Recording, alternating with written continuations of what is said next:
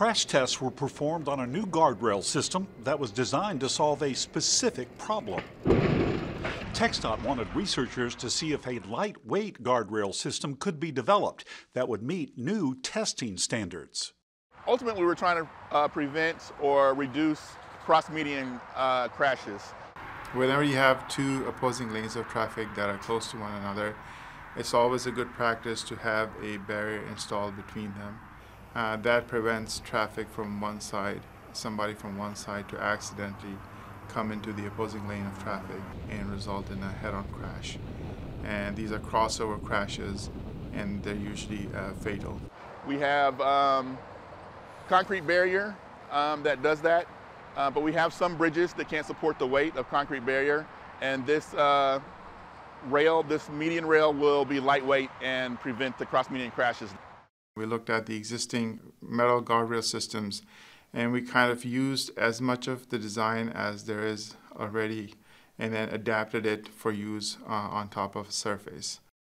In our design, we had uh, a rail system that's also supported by posts, but these posts are now just bolted onto the concrete. A key design aspect uh, for, for, for this system uh, was to uh, look at how the post detaches or, or, uh, or deforms uh, where, where it is attached to the concrete.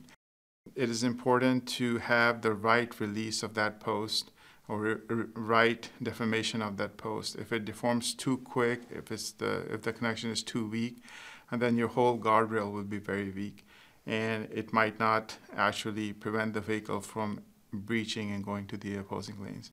And at the same time, if that connection is too stiff uh, or doesn't release quickly, um, then you would have a very stiff system and that can lead to the vehicle kind of snagging on to the barrier, resulting in a rollover, or it may just cause rupture to the rail or, or something like that. We tested to, uh, to MASH uh, test level three. So we tested a small car and a pickup truck on the, uh, on the median rail. Um, both passed with flying colors. It looked, uh, it looked really good. We expect this uh, design to be more cost effective than concrete barriers and at the same time it's going to be much lighter uh, than a concrete barrier so it can be used uh, on top of bridges and also on concrete pavements.